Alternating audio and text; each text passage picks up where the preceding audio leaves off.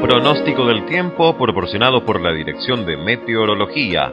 Para todo el territorio nacional se espera un día frío a cálido con máximas que estarían entre los 23 y los 26 grados. Para Asunción se espera una máxima de 23 grados. El pronóstico extendido para la capital anticipa un domingo frío a cálido con mínima de 9 y máxima de 24 grados. Un lunes fresco e inestable con mínima de 13 y máxima de 18 grados.